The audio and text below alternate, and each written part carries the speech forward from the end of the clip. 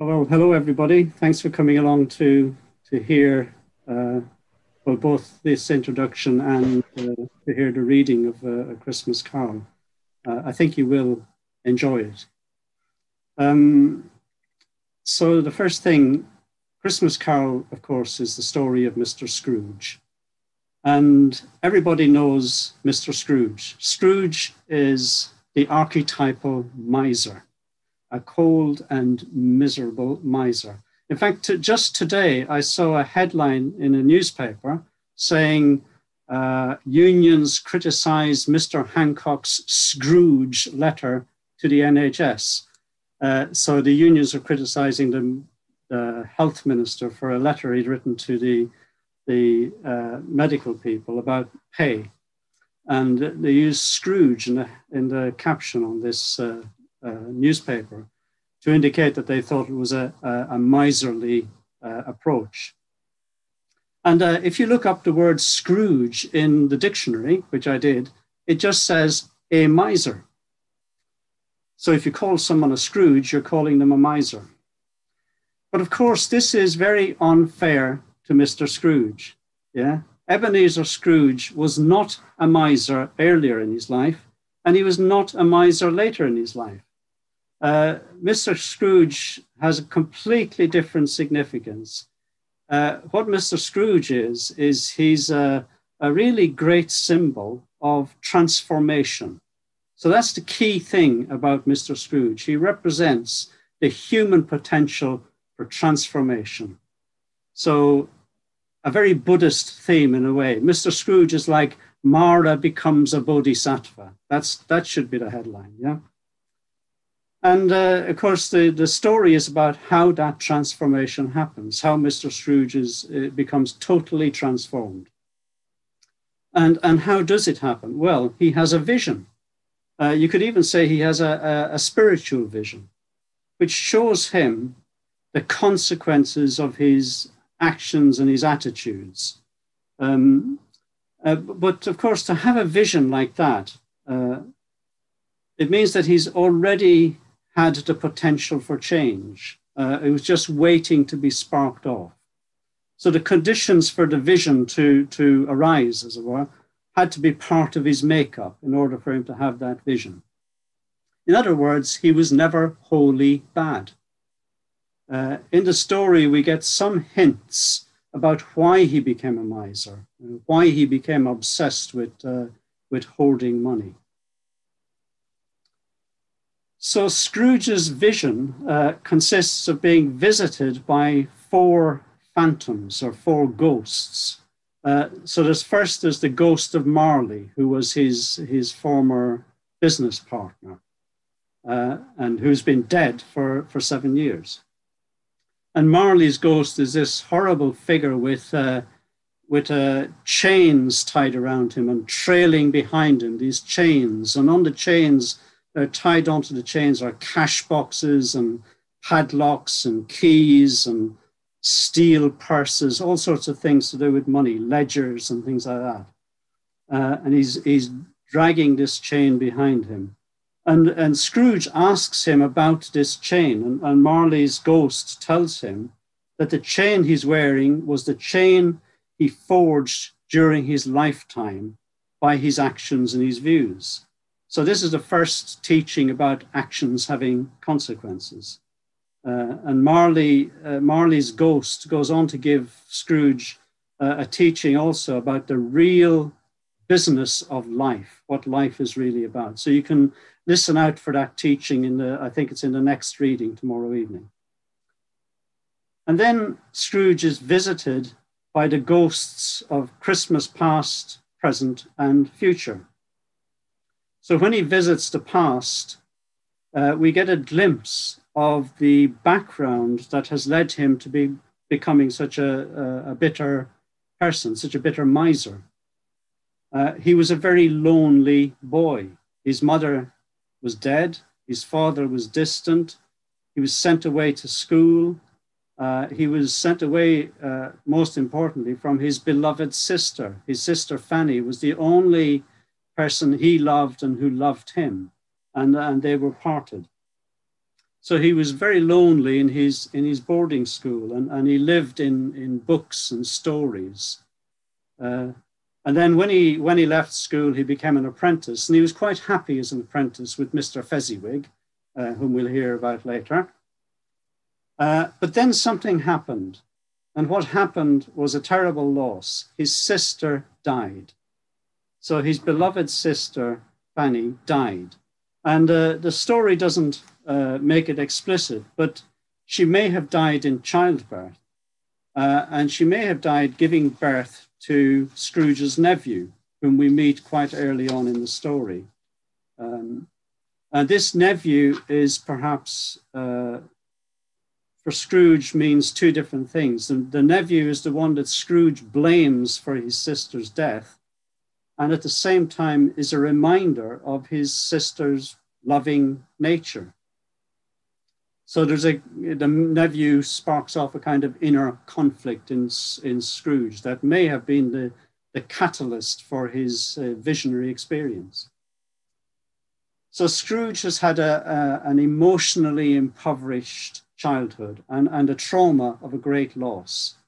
So of course, when people have trauma and and uh, and emotional impoverishment and so on, people look for something to, to cope with that. So some people turn to drink or drugs or whatever. Scrooge turned to money. Uh, he, he made money his God. And in doing that, he also lost his fiancée, who saw him growing into a, a cold and, and distant figure. So the ghost of Christmas past takes Scrooge on a journey into his past, into his childhood uh, and seeing his younger self, that's the, the first thing that starts to, to melt his heart, so to speak. And then the ghost of Christmas present shows him how others are, are happy uh, without wealth, without money. Uh, shows him Bob Cratchit's family and his nephew's family and so on, and how they have a wealth of, of loving relationships. Uh, so his heart is melting a little bit more when he sees this. Uh, and then the ghost of the future is a stark warning uh, that his current uh, attitudes and, and uh, actions will lead to a bleak and, and loveless death. So these, these ghosts are, are the visionary experience. They could be seen as a kind of welling up from uh, the depths of his unconscious mind, a welling up of something he already knows but has deliberately avoided. Anyway, this visionary insight leads him to want to change his life completely. And he does. He becomes, immediately after this experience, he becomes ecstatically happy and he laughs out loud. Dickens says that for someone who hasn't laughed for so long, he's got a very good laugh and uh, he dances for joy. He dances around his room, and he becomes extremely generous. And he notices that everywhere uh, uh, he looks and everything he sees uh, gives him pleasure. So he's totally transformed. And of course, some people laugh at him. They laugh at this change in him. Uh, not everyone is, is pleased to see people change, even, even change for the better. And although he's uh, totally changed into a very generous and warm hearted person, his bad reputation never leaves him. In fact, it's still with him 200 years later. So it's relatively easy to acquire a bad reputation and very, very difficult to lose it. Mr. Scrooge gained self knowledge uh, through being granted this visionary experience, uh, this kind of overview of his whole life uh, and where it was leading. And uh, we could say that there are lessons for all of us in, uh, in A Christmas Carol and in the story of the, of the miser Scrooge and of the, the big hearted Ebenezer Scrooge. There's lessons about the consequences of, of attitudes and actions. Uh, there's lessons about uh, knowing, uh, knowing yourself, understanding yourself, reflecting on your life. Uh, there's lessons about the possibility of change Uh, lessons about the importance of being less self-centered and the importance of other people and of, of all our, our human our human warmth, our human relationships. So some people say that the, what the story is really about is the contrast between the, how the world is and how the world should be.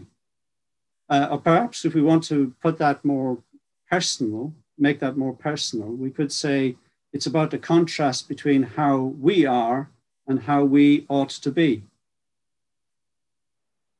So that's just a little by way of introduction to hopefully as you listen to the story throughout, you'll, you'll see some of those themes and maybe other themes that Destiny will bring out on the last evening. But let's move on now and uh, in a way let the story speak for itself.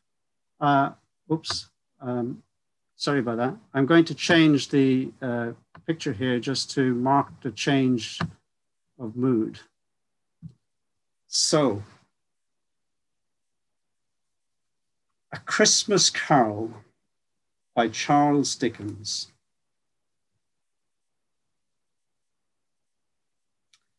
Marley was dead, begin with. There's no doubt whatever about that. The register of his burial was signed by the clergyman, the clerk, the undertaker, and the chief mourner. Scrooge signed it, and Scrooge's name was good upon exchange for anything he chose to put his hand to. Old Marley was as dead as a doornail.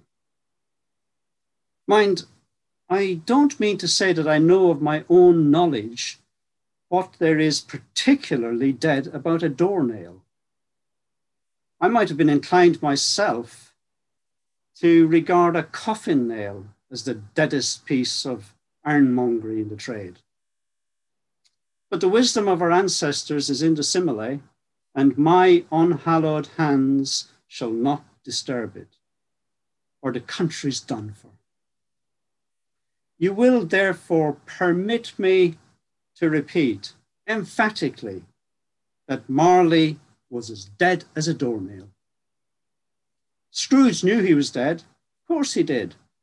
How could it be otherwise? Scrooge and he were partners for I don't know how many years. Scrooge was his sole executor, sole assign, his sole residuary legatee, his sole friend, and sole mourner. Even Scrooge was not so dreadfully cut up by the sad event, but that he was an excellent man of business on the very day of the funeral and solemnized it with an undoubted bargain. The mention of Marley's funeral brings me back to the point I started from. There is no doubt that Marley was dead. This must be distinctly understood, or nothing wonderful can come of the story I'm going to relate.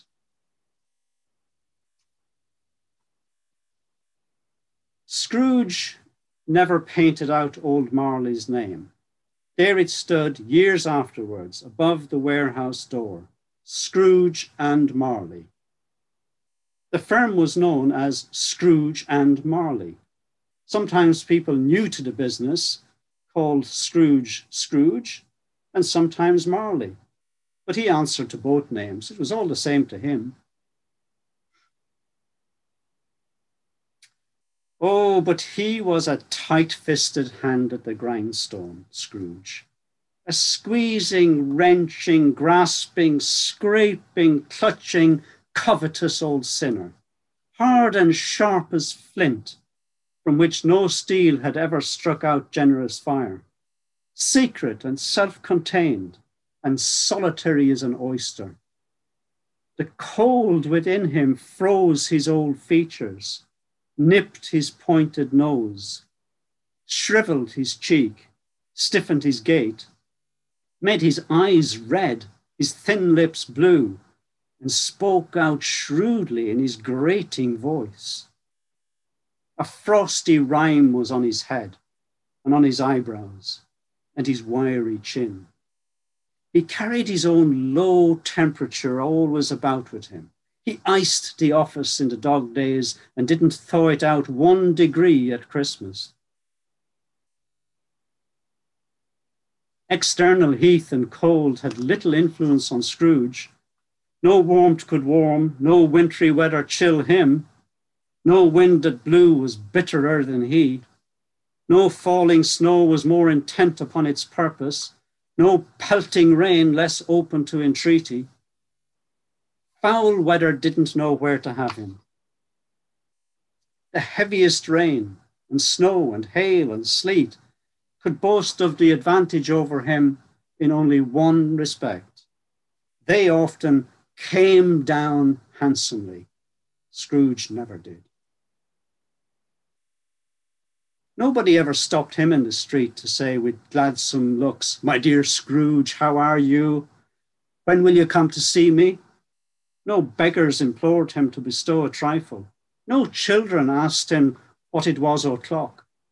No man or woman ever once in all his life inquired the way to such and such a place of Scrooge. Even the blind men's dogs appeared to know him, and when they saw him coming on, would tug their owners into doorways and up courts. But what did Scrooge care? It was the very thing he liked to edge his way along the crowded paths of life, warning all human sympathy to keep its distance once upon a time, of all the good days in the year on Christmas Eve, old Scrooge sat busy in his counting house. It was cold, bleak, biting weather, foggy withal, and he could hear the people in the court outside go wheezing up and down, beating their hands upon their breasts and stamping their feet upon the pavement stones to warn them. The city clocks had only just gone three, but it was quite dark already. It had not been light all day, and candles were flaring in the windows of the neighboring offices, like ruddy smears upon the palpable brown air. The fog came pouring in at every chink and keyhole, and was so dense without that although the court was of the narrowest, the houses opposite were mere phantoms. To see the dingy cloud come drooping down, obscuring everything, one might have thought that nature lived hard by and was brewing on a large scale.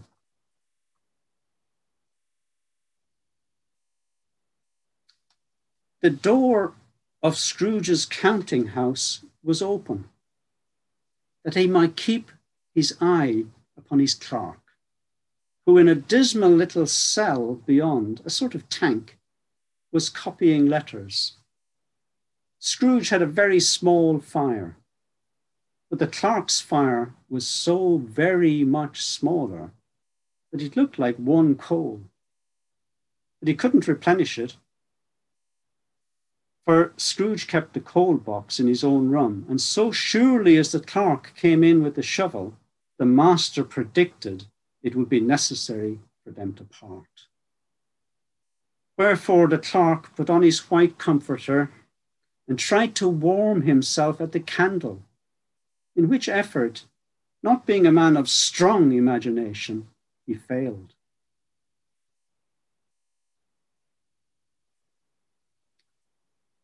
A Merry Christmas, Uncle! God save you! cried a cheerful voice. It was the voice of Scrooge's nephew, who came upon him so quickly that this was the first intima- intimation he had of his approach. Ah, said Scrooge, humbug. He had so heated himself with rapid walking in the fog and frost, this nephew of Scrooge's, that he was all in a glow. His face was ruddy and handsome, his eyes sparkled, and his breath smoked again. Christmas a humbug, uncle. You don't mean that, I'm sure. I do, said Scrooge. Merry Christmas? What right have you to be merry? What reason have you to be merry? You're poor enough. Come then, returned the nephew gaily. What right have you to be dismal? What reason have you to be morose? You're rich enough. Scrooge, having no better answer ready on the spur of the moment, said, Bah, again, and followed it up with, Humbug. Don't be cross, uncle, said the nephew. What else can I be? returned the uncle, when I live in such a world of fools as this. Merry Christmas? Out upon a Merry Christmas. What's Christmas time to you but a time for paying bills without any money? A time for finding yourself a year old and not an hour richer? A time for balancing your books and having every item in them through a round dozen of months presented dead against you? If I could work my will, says Scrooge indignantly, every idiot who goes about with Merry Christmas on his lips should be boiled with his own pudding and buried with a stake of holly through his heart. Uncle, pleaded the nephew. Nephew, returned the uncle sternly, keep Christmas in your own way and let me keep it in mine. Keep it, said Scrooge's nephew, but you don't keep it. Let me leave it alone then, said Scrooge. Much good may it do you. Much good has it done you. There are many things from which I may have derived good, but which I have not profited. I dare say, returned the nephew. Christmas among the rest. But I'm sure that I have always thought of Christmas time when it does come round, as a good time, a kind, forgiving, charitable, pleasant time. The only time I know of in the long calendar of the year when men and women seem by one consent to open their shut up hearts freely and to think of people below them as if they were really fellow passengers to the grave and not another race of creatures on some other journey and therefore, uncle, though it was never, it has never put a scrap of gold or, or silver in my pocket, I believe it has done me good and will do me good. And I say, God bless it. The clerk in the tank involuntarily applauded. Becoming immediately sensible of the impropriety, he poked the fire and extinguished the last frail spark forever. Let me hear another sound from you, said Scrooge, and you'll keep your Christmas by losing your situation. You're quite a powerful speaker, sir, he added, turning to his nephew. I wonder you don't go into Parliament. Don't be angry, uncle. Come, dine with us tomorrow. Scrooge said that he would see him. Yes, indeed, he did. He went the whole length of the expression and said that he would see him in that extremity first. But why? said Scrooge's nephew. Why? Why did you get married? said Scrooge. Because I fell in love. Because you fell in love? growled Scrooge, as if that were the only one thing in the world more ridiculous than a Merry Christmas. Good afternoon. Nay, uncle, but you never came to see me before that happened. Why give it as a reason for not coming now? Good afternoon, said Scrooge. I want nothing from you. I ask nothing of you. Why cannot we be friends? Good afternoon, said Scrooge. I am sorry with all my heart to find you so resolute. We have never had any quarrel to which I've been a party, but I've made the trial in homage to Christmas, and I'll keep my Christmas humour. So a Merry Christmas, Uncle. Good afternoon, said Scrooge, and a Happy New Year. Good afternoon, said Scrooge. His nephew left the room without an angry word, notwithstanding. He stopped at the outer door to bestow the greetings of the season on the clerk, who, cold as he was, was warmer than Scrooge, for he returned them cordially.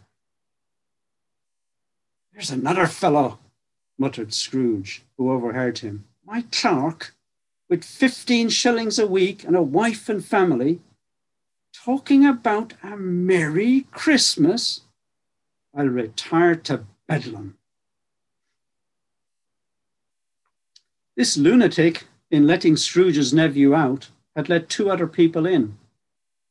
They were portly gentlemen, pleasant to behold, and now stood with their hats off in Scrooge's office.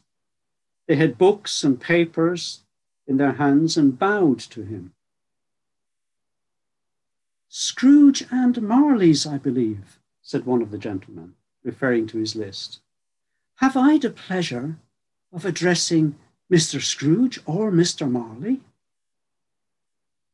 Mr. Marley has been dead these seven years, Scrooge replied. He died seven years ago this night.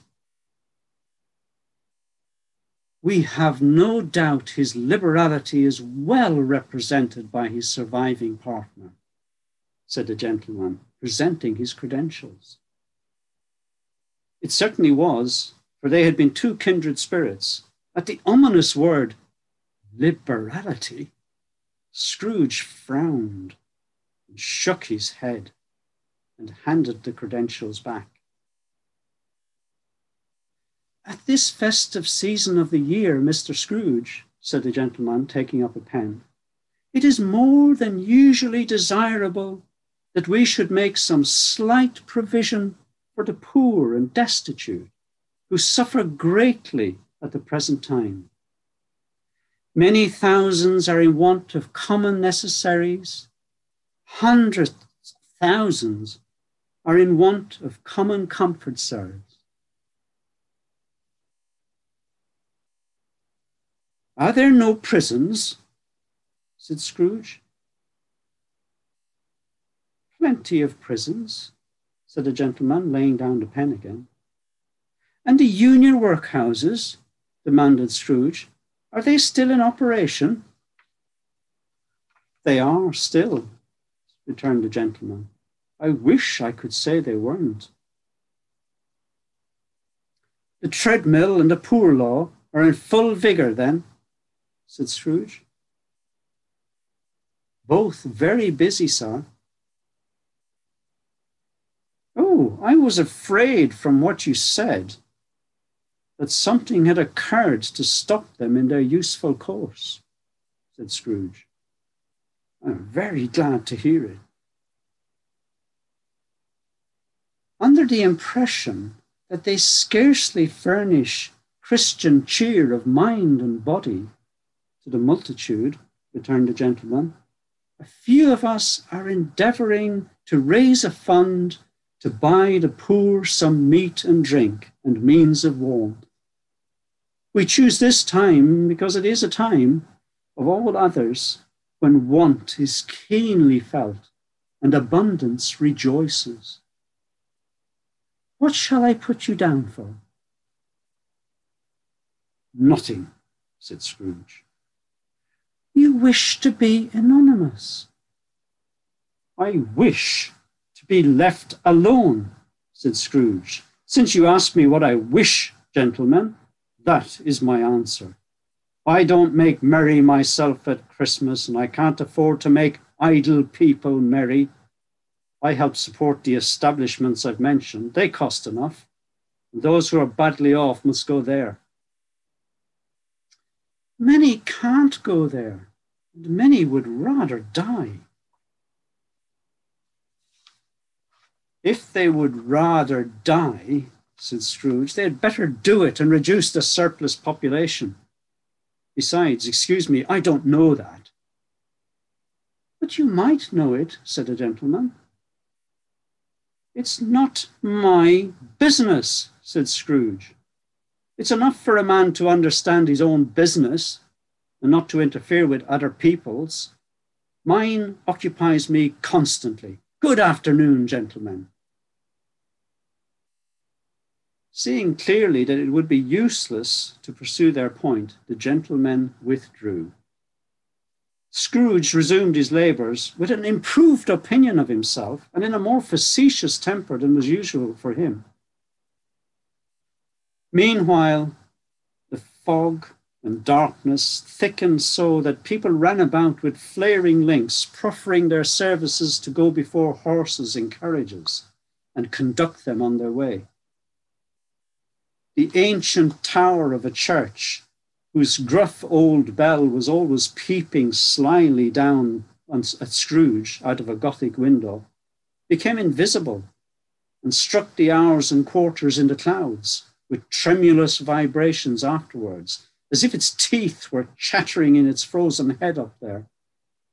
The cold became intense in the main street at the corner of the court, some labourers were repairing the gas pipes and had lighted a great fire in a brazier, round which a party of ragged men and boys were gathered, warming their hands and winking their eyes before the blaze in rapture.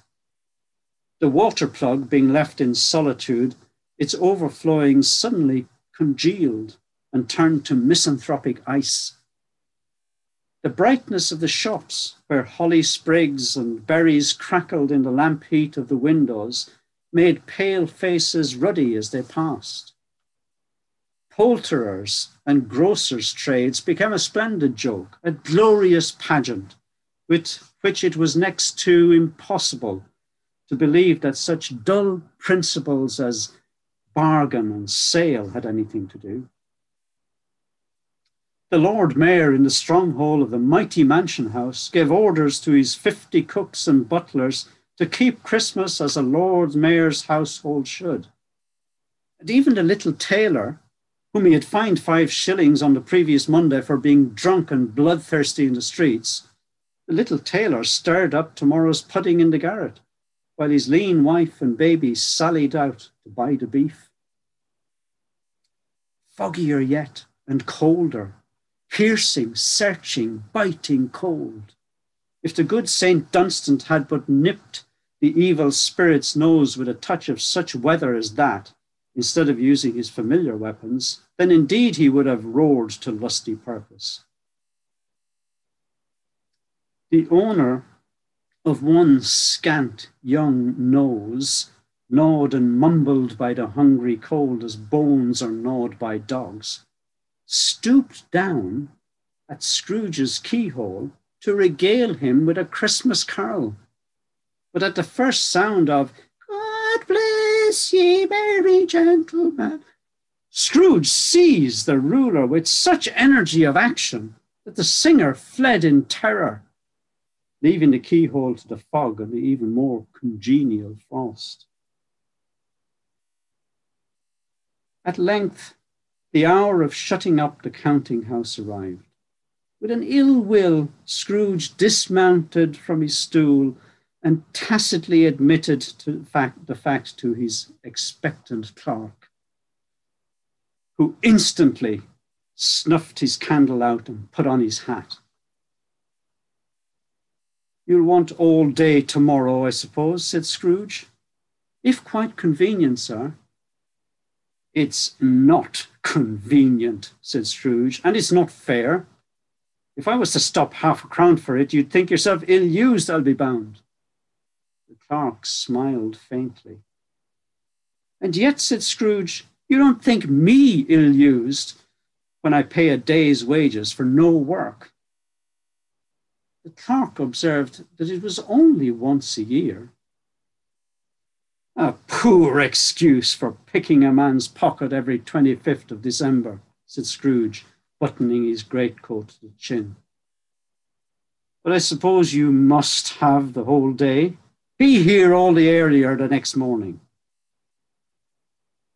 The clerk promised that he would, and Scrooge walked out with a growl the office was closed in a twinkling, and the clerk, with the long ends of his white comforter dangling below his waist, for he boasted no greatcoat, went down a slide on Cornhill at the end of a lane of boys 20 times to honour its being Christmas Eve, and then ran home to Camden Town as hard as he could pelt to play at blind man's buff.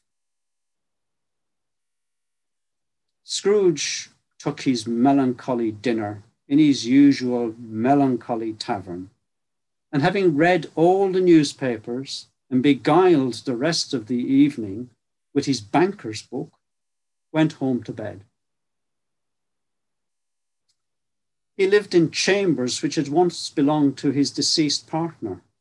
They were a gloomy suite of rooms in a lowering pile of a building up a yard, where it had so little business to be that one could scarcely help fancying it must have run there when it was a young house, playing at hide and seek with other houses, and have forgotten the way out again.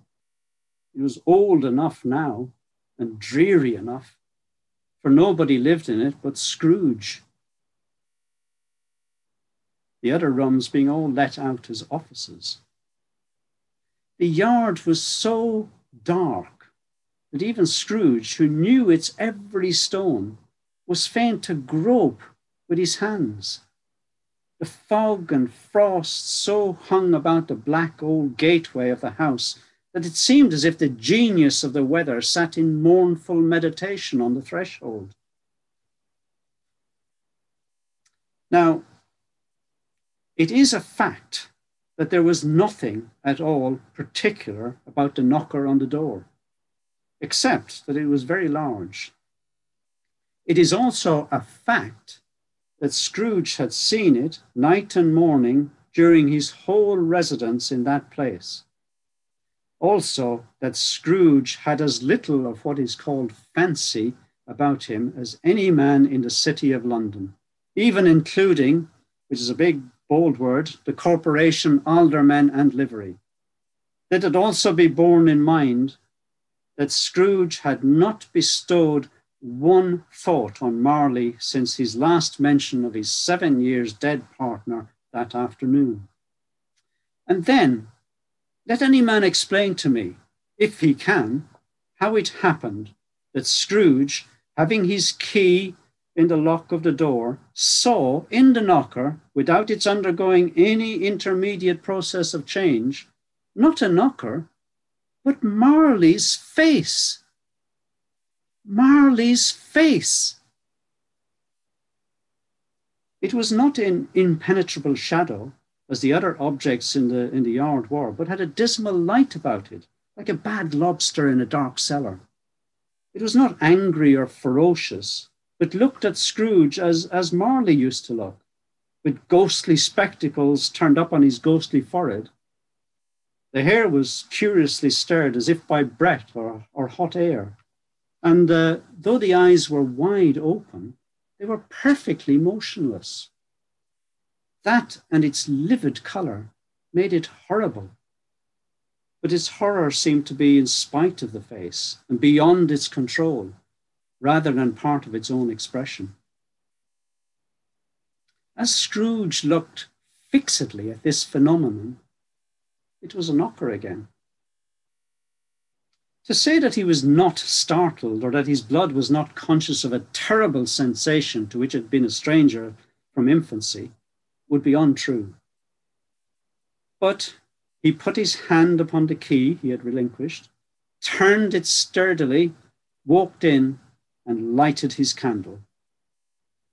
He did pause with a moment's irresolution before he shut the door, and he did look cautiously behind it first, as if he half expected to be terrified with the sight of Marley's pigtail sticking out into the hall. But there was nothing on the back of the door except the screws and nuts that held the knocker on. So he said, Pooh, pooh, and closed it with a bang. The sound resounded through the house like thunder. Every room above and every cask in the wine merchant's cellars below appears to have a separate peal of echoes of its own. Scrooge was not a man to be frightened by echoes. He fastened the door and walked across the hall and up the stairs, slowly too, trimming his candle as he went. Tune in tomorrow for the next episode.